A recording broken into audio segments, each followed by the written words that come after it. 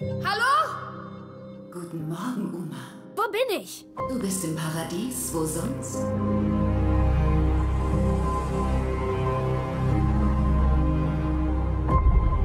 Wo sind wir hier? Das ist eine Chance für dich, Uma. Wenn du deinen Platz annehmen würdest, lägen die besten Jahre vor dir. Unsere Familien haben uns hierher geschickt, um uns nach ihrer Idee zu formen.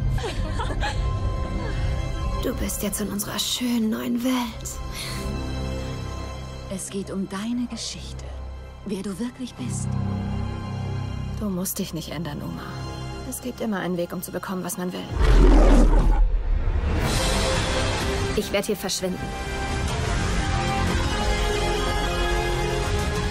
Sie lassen uns schlafen, als wären wir tot.